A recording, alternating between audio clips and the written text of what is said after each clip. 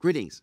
My name is Lenny Marcus. I'm the co director of the National Preparedness Leadership Initiative, a joint program of the Harvard T.H. Chan School of Public Health and the Harvard Kennedy School of Government Center for Public Leadership.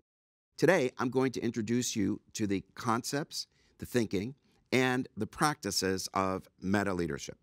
First, the prefix meta refers to a very wide perspective on what's happening, an overarching perspective that understands what's going on through the lens of the different people, the different events, and the different circumstances that are involved in any kind of a situation.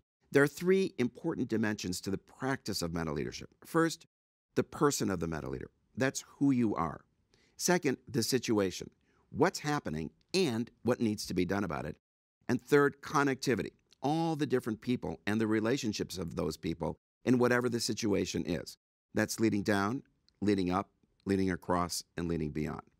As a leader, you're always being watched. You're being watched by your subordinates, by your boss, and by people outside your organization. What you consider to be important, they will recognize. If you're in a panic, your followers will be in a panic. If you're calm, your followers will be calm. Our definition for meta leadership is people follow you. And those people could be the whole array of people who are involved in whatever the event might be. Follow, pretty clear. And you project yourself as a leader all the time. So your emotional intelligence is critical to your leadership, just as your ability to see and understand what other people are experiencing and what other people are doing. Second, the situation. What's happening and what needs to be done about it. We have a tool that we call POP PopDoc that can help guide you when you're dealing with a complex situation. There are six steps. First, perceive what's going on. What's happening? Who's involved? And how do different people experience the situation?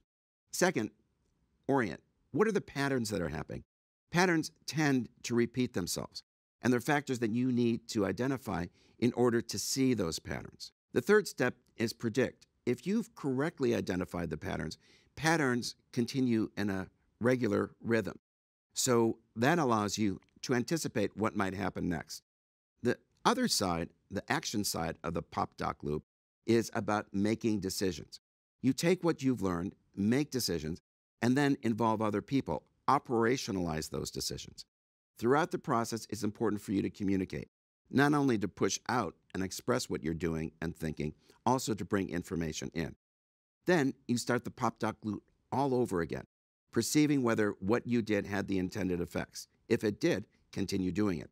If it didn't, then that can help you understand where you might need to correct your actions. The third dimension of meta leadership is connectivity. And you're really leading in multiple directions. First, to your subordinates, the people who call you boss. They're looking to you for direction. Next, leading up to the person or the people who are your boss. And we all have a boss. Could be one person. If you work in a matrixed organization, it could be more than one person. It could be a board of directors, or if you're an elected official, it could be the electorate. Next, leading across to other people, to other departments, to other offices within your organization, your chain of command. And finally, leading beyond to organizations, to people, to constituencies outside your organization. Leading across is about intra organizational relations, leading beyond is about inter organizational relations. As a meta leader, you're aware of and thinking about and cognizant of all three dimensions at the same time. How well you lead as a person determines many times how well you're able to understand the situation and your understanding of the situation and how different stakeholders might experience it in very different ways helps you then build that connectivity of effort. So, one of the things we found in being with people who are practicing meta leadership in the field is that the key that they're able to bring into a difficult situation is the orientation of everyone involved. If you're practicing meta leadership on a day to day basis, it's more likely to be available to you in a crisis moment when time matters and decisions and the actions that you take matter most. So, the three dimensions of meta leadership person, situation, and connectivity. And the bottom line is are people following you? That's the critical test for you as a meta leader.